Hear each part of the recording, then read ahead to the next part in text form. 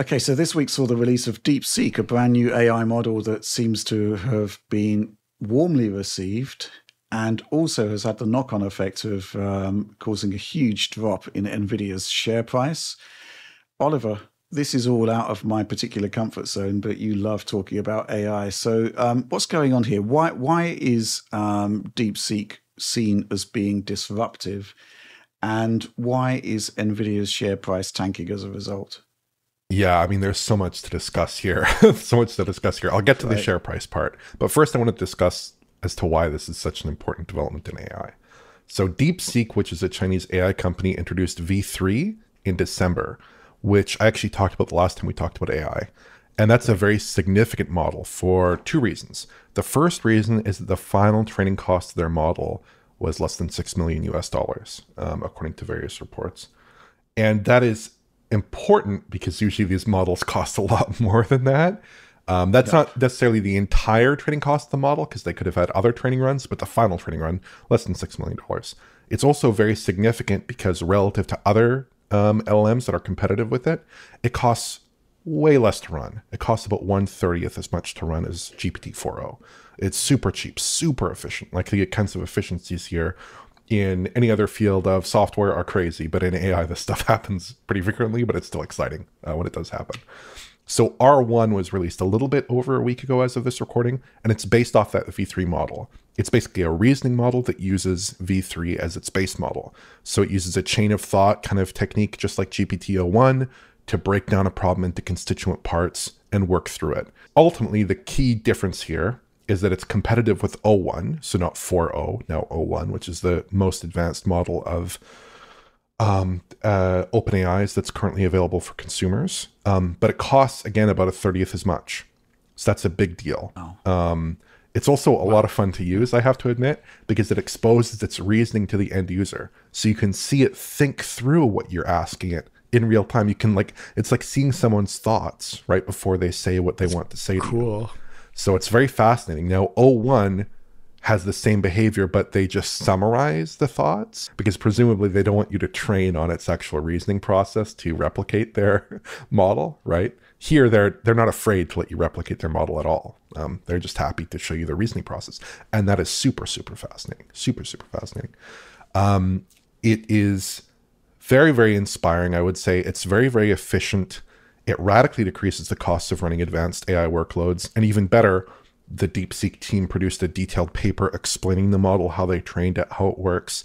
And the model is open source. So you can run it yourself on local hardware. And even more exciting, they produce different versions of it that run using different base models. So you can run a version based on Qwen or Llama that might be a lot smaller than the V3 base model, but can run on a consumer graphics card or even a phone. Though it's sort of funny to use it when you use it with a really weak base model, like a 3 billion Llama 3B or something, because you're seeing this little tiny model try to think, but it's too stupid to think through. so it's like fumbling. It's, it's hilarious. It's a really fun model to use, again, because you see that reasoning process. And it's really critical to here because this is a model that, you know, I have copies of it here. I'll have it forever. No one can take that from me. And it's a really advanced model, right? It's really cool. It's cool. Um, so yeah, I mean, the, it's it's great for all kinds of companies because it brings LLM capabilities up to a really high baseline of performance, and it's better than arguably anything from any AI model, any AI provider rather, except OpenAI. Now, why did it tank NVIDIA's share price? It tanked NVIDIA's share price. Well, tanked is generous. I think their, their share price went down by about 15%, which is big. But, you know, if you look at NVIDIA's share price over five years, it's, it's I think they can survive a 15% loss, possibly, right. um, possibly, uh-huh. given that they're worth over $3 trillion still, I believe. Uh, but basically, if AI gets radically more efficient, everything held equal, then the demand for NVIDIA GPUs will go to zero, basically. But uh-huh. there are some key caveats, right? Um, AI efficiency improvements historically have not reduced demand. They've instead led to more and more compute heavy models that have just pushed demand further and harder. And increasingly, we're going to see models that are used in agentic ways. So, are basically primarily prompting themselves or being prompted with visual input or audio input or text input that's being generated instead of human input through prompts.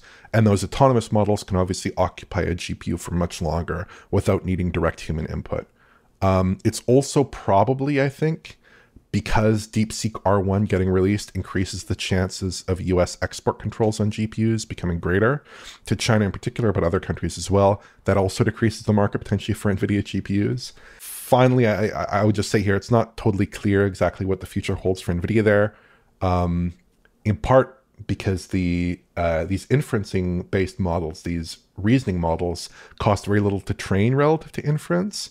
They use a lot more time spent at inference than training, and you can run models like these on a much wider range of hardware than you can train them. You have to train on NVIDIA GPUs, but you can run them on anything basically. So that's certainly an area where NVIDIA might be concerned. But on the flip side, of course, the models are getting so powerful now that any additional margin of intelligence has so much upside that you can possibly justify pretty enormous expenses. So it's really hard to see where that goes in terms of like the valuation of Nvidia or their share price or the relative market position of Nvidia relative to other firms. But yeah, just kind of a lot of thoughts there, but uh, certainly very interesting. And then of course AI is moving so quickly now that as we speak, and uh, OpenAI is preparing to launch their O3 model, or at least their O3 mini model, which will be faster still. That should be out today. So um, the state of the art in LLMs is continuing to be pushed out and pushed out further as various advancements go through. And even like this DeepSeek paper, now I'm sure everyone at every major AI provider in the United States is going to try to replicate some of their techniques and improve their own models mm-hmm. further. So it just keeps accelerating and accelerating. Interesting. Yeah, the whole sort of share price thing. I mean, you know, the whole concept of the share of, of share prices is basically based on belief, really. really hard data. I just can't really uh, see any kind of scenario where the need for more performance. Um, you know, you're always going to need more performance. Therefore, you know, it's still going to be uh, a requirement to get NVIDIA hardware. I don't know. I don't really know about this, but it's certainly interesting stuff. It's also really interesting to see that uh, the Radeon 7900 XTX seems to be a bit of a hero product for running it. Uh, yeah, it's really good. yeah. Apparently. Yeah, if you can fit your model in, in VRAM, of course, because the 7900 XTX does not have a ton of VRAM. If you can fit your model in VRAM, um, then yeah, it's super fast super fast at What's the sort of requirement then? Because that's got 24 gigs. They, I mean, conceivably AMD could maybe do a 48 gigabyte version of that card. Oh well, God. that would actually be very useful for Llama 70 billion because I think with 4 bit quantization, that model will fit in 48 gigs of VRAM, I believe. That's wow. the model that I use on my Mac Studio here. Um, mm-hmm. But yes, the, the thing is, is that R1 comes in so many different flavors. It, it basically works with like, I don't know, like 10 different base models, ranging all the way from like 3 billion, I think, at the low end to 600 billion at the top end. So wow. in terms of um, number of parameters, um, and, and, that has a direct correlation with how much me- me- memory you would need um, for your to run your model in VRAM.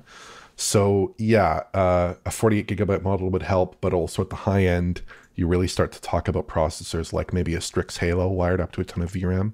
Maybe that would be super hmm. helpful for this, or a Mac Studio.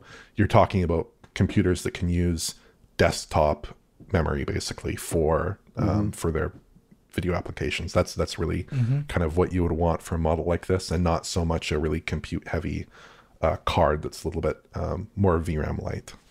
I'm curious what you actually use these models for, Oliver. Oh, I just it, lo- in terms of the stuff I use locally, it's just not too much, but uh, th- that's just for fun. But in terms of like stuff, um, I actually did not have a very good use for LLMs until fairly recently, like within the past few months. But now that LLMs have search functionality built into them, like you can do web search with them, I find right. them increasingly useful for research. And there's uh, also there's a, a, model called Gemini with deep research that's very useful if you need to understand something, like if you need to summarize a variety of content, let's say about a game, you want that to inform your your reasoning, but you don't have time to read a ton of websites, you can use Gemini with deep research to do that research for you, and it will search through hundreds of websites in some cases.